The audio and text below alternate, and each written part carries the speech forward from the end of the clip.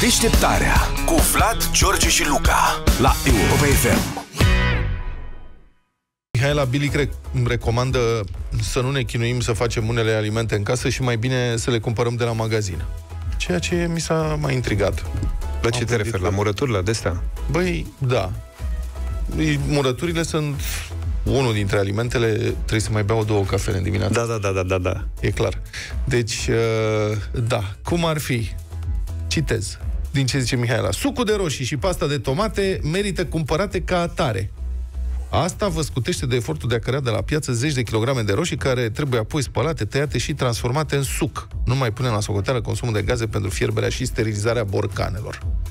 Și adevărul e că am descoperit că decât să te chinui să gătești cu roșii pe care le cumperi de la supermarket și care n-au niciun gust, deci de ce ai vrea să faci mâncare din plastic, mai bine îți cumperi conserve de roșii gata pasate, sunt o mulțime de mărci și poți să cumperi fie pastă de roșii la conservă, fie roșii în bucățele, uh-huh. fie roșii bucată, conservată. Și gustul este senzațional, pentru că ele sunt culese chiar atunci când trebuie și conservate așa cum trebuie și Na. Da, dar sucul de roșii nu e același lucru.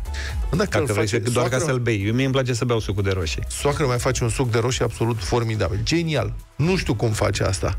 Dar dacă vreau să gătesc cu roșii, prefer o conservă decât să tai roșii. Și mai e o problemă. Când gătești cu roșia, păi trebuie să o despielițezi înainte. Și asta presupune o manoperă suplimentară. Adică da. să o cufunzi în apă care fierbe 30 secunde, să fie crestată înainte, să o scoți, să o bagi în apă cu gheață, să desfaci aia după ea și așa mai departe. Că pielița aia nu e comestibilă și e neplăcut de...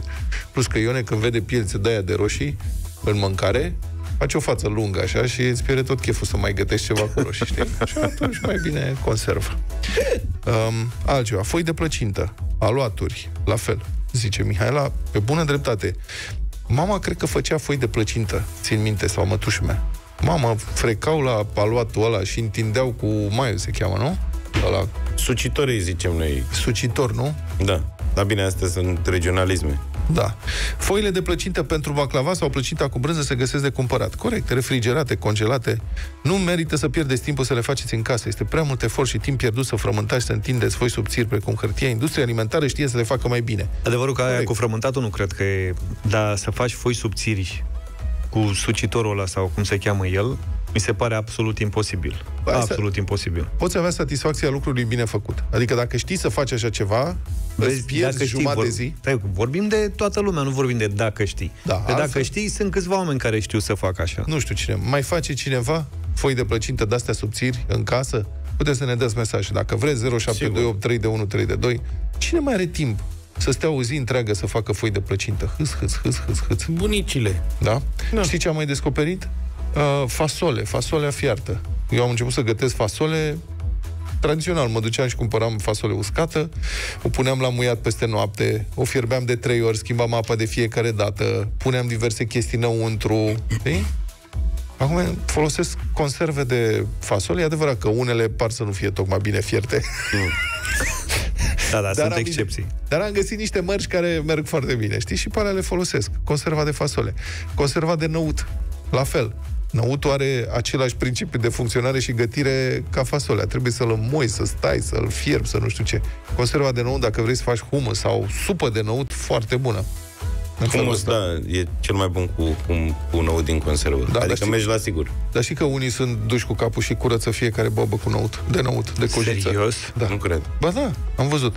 Nu te când uita au așa la mine, și când au terminat. Nu te uita așa la mine, că atunci când m-ai învățat să fac pesto de fistic pentru paste, da, mi-ai zis la... să curăț fiecare bobă de fistic de, de coajă. Curăța, da. Și, și tu râzi de cei care curăță bobele de năut?